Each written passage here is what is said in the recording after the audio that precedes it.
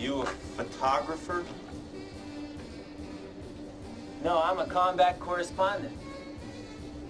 Oh, you seen much combat? I've seen a little on TV.